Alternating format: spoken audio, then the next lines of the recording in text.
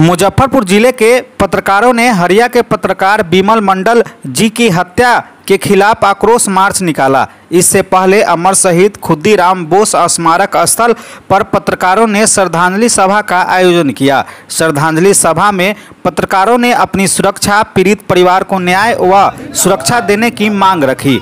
स्मारक स्थल से आक्रोश मार्च निकाला, जो मुख्य मार्ग से गुजरते हुए कमिश्नर कार्यालय, आईजी कार्यालय, एसडीओ कार्यालय होते हुए समाहरणालय परिसर में समाप्त हुआ। सभा को संबोधित करते हुए वरीय पत्रकार अमरेंद्र तिवारी ने कहा कि अररिया के रानीगंज निवासी वरीय पत्रकार बिमल मंडल को अपराधियों ने गोली मारकर हत्या कर दी।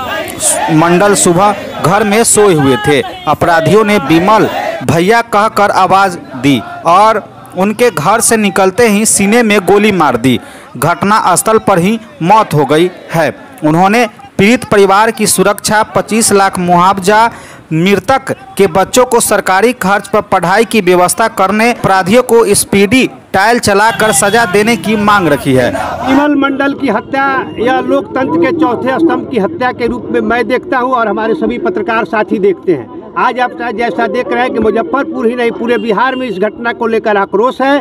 खास करके जो हमारे पत्रकार दिन रात जोखिम भरे के बीच में जो काम करते हैं, उन पर संकट है तो हम मांग करेंगे कि विमल मंडल जी की हत्या हुई है, उनके परिवार की सुरक्षा, उनके दो बच्चे, उनका पढ़ाई का खर्च सरकार उठावे, इसके साथ परिवार को 25 लाख का मुआवजा, और जितने भी हमारे पत्रकार हैं, इन सभी लोगों की सुरक्षा की गारंटी हो, और सभी को मान्यता प्राप्त पत्रकार का दर्जा दिया जाए, इसके साथ जिला स्तर पर सरकार एक कमेटी बनावे फंडिंग करे ताकि किसी भी किसी के साथ कोई घटना दुर्घटना हो तो उसका सूचना हो। और यहाँ के जिला प्रशासन से मांग करते हैं कि इस ज़िले के जितने भी पत्रकार हैं सभी की सूची बनाकर उनके संबंधित थाना अधिकारी को दिया जाए कि किसी भी ज़रूरत हो आफत पड़े वह पत्रकार कॉल करे तो थाना अध्यक्ष उसको सुरक्षा दे। यह हम इस अवसर पर मांग करते हैं। परिस्थिति में कैसे न झुके हैं न रुके हैं लेकिन एक सरकार के बीच समाज के लिए काम करते हैं। हम बाल बच्चों के लिए नहीं काम करते हैं सिर्फ़ सरकार और समाज को देखते हैं इसलिए अब समाज और सरकार का धर्म है कि समाज कैसे सुरक्षा देगा सरकार कैसे सुरक्षा देगी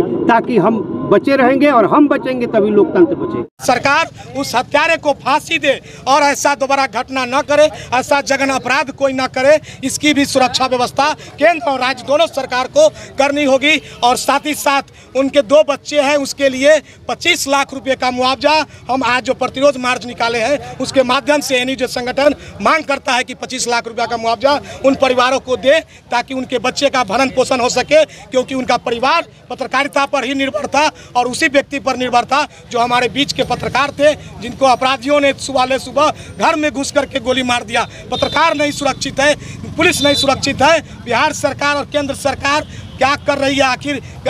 केवल डिगडिगिया पीटने में लगे हुए हैं। अपने चुनाव की तय से सरकार को हम आगाज़ करते हैं कि आप अगर नज़र नहीं जागे, पत्रकारों की सुरक्षा व्यवस्था की नहीं किए, क्योंकि पत्रकार वो चीज़ है जो 12 बजे रात में अगर कहीं गोली चल जाती है तो लोगों की आवाज़ उठाने के लिए, लोगों की बातों को उठाने के लिए आग लग जाए, कर्फ्यू लग जाए, उसमें अगर कोई जाता है कड़ाके की धूप हो या बरसात हो, गर्मी हो तो सभी जगह पर जनप्रतिनिधि हो या पुलिस से पहले अगर कोई जाता है तो वह पत्रकार भाई है, जो पहले वहाँ पर पहुँच करके उस मामले का तहकीकात करता है, उसके बाद उसे चला करके और उसे जिस तरह के सहायता होनी चाहिए जिस व्यक्ति को उसका व्यवस्था करता है। तो ऐसे में पत्रकार हित की बात को लेकर के आज जन जन प्रतिरोध मार्च निकाला गया था। अगर ऐसे भी नहीं सुना तो आगे भी पत्रकार अलग अलग ज़िले में आंदोलन कर ही रहे मुजफ्फरपुर में भी बड़ा आंदोलन का आगाज़ हम करते हैं। अगर समय रहते, पत्रकारों की सुरक्षा व्यवस्था मुहैया कराया गया तो आंदोलन समाप्त हो जाएगा, नहीं तो आंदोलन जारी रहेगा। और दबाएँ बेल आइकन हमारे वीडियो सबसे पहले देखने के लिए।